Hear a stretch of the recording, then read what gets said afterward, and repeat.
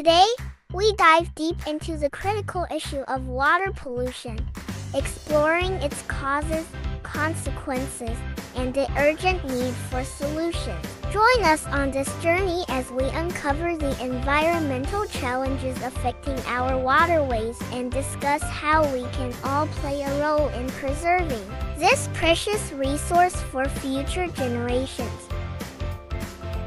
What is water pollution?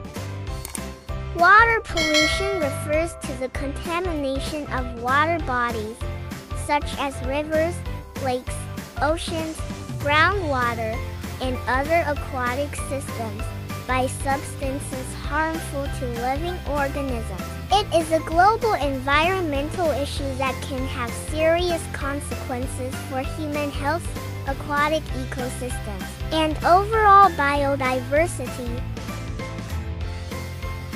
Let's list a few things that causes water pollution. Example, industrial discharges, agricultural runoff, wastewater disposal, urban runoff, oil spills, and mining activities. Industrial discharges. Factories and industrial facilities often release pollutants such as chemicals, heavy metals, and toxins into nearby water bodies. Agricultural runoff.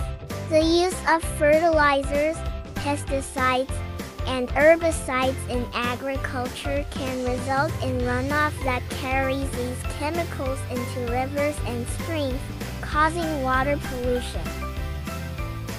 Wastewater disposal.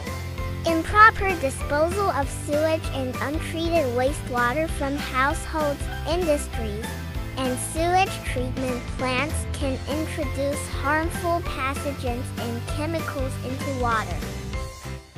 Urban runoff. Urban areas with impervious surfaces like roads and parking lots can lead to increased runoff during rainfall, carrying pollutants such as oil, heavy metals, and debris into water bodies.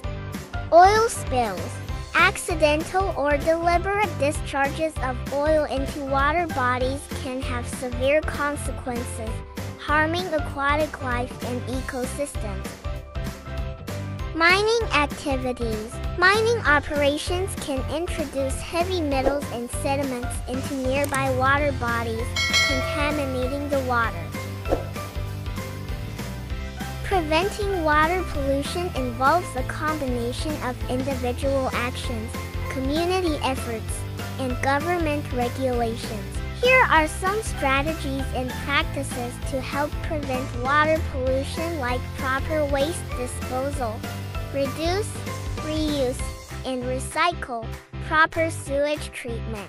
Responsible agricultural practices and controlled stormwater runoff. These are just a few ways. Thank you for watching. Remember to like, share, and subscribe. God bless.